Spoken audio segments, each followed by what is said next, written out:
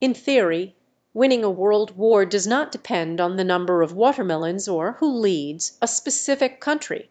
Winning a war involves complex strategies, diplomatic negotiations, military strength, and geopolitical factors.